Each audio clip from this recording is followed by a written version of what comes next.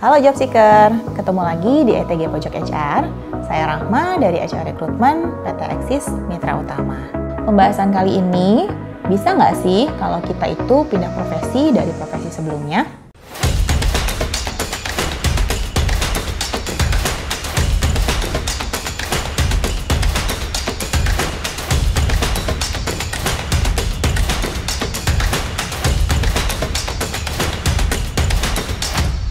Ini khusus untuk yang area IT ya.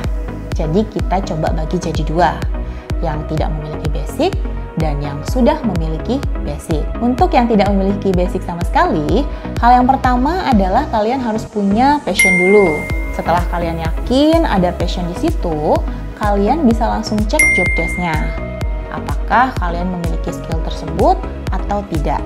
Kalau tidak ada basic skill, kalian bisa mengikuti kelas bootcamp atau training. Kalau bisa yang ada sertifikatnya ya.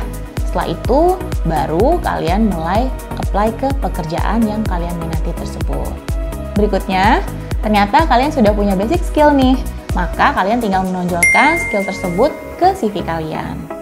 Hal ini tidak kami sarankan untuk teman-teman yang memiliki experience lebih dari 2 tahun ya. Oke, segitu aja sharing dari saya. Semoga bermanfaat.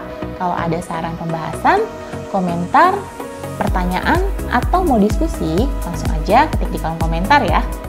Good luck!